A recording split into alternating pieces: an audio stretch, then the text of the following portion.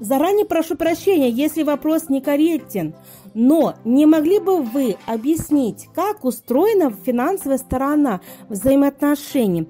Платит ли фигурист, придя к вам за весь комплекс услуг или оплачивает работу каждого специалиста в отдельности?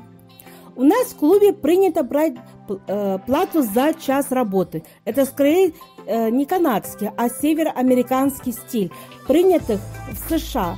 У меня своя ставка, у Трейси своя.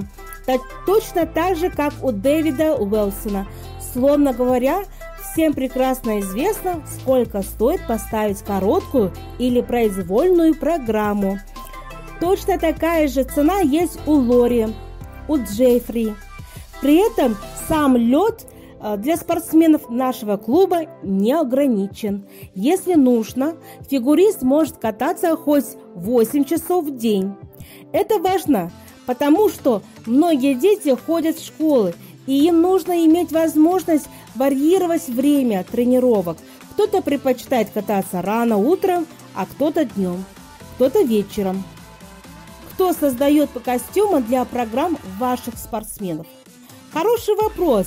Не знаю. Знаю, что у того же Дэвида есть свои контакты. И когда он ставит программы, сам может объяснить мастеру, как представляет образ. У некоторых фигуристов существуют контакты со своими дизайнерами. Причем совершенно не обязательно, чтобы они были канадскими. Главное, чтобы всем было удобно и прежде всего самому спортсмену. Body, body, I'll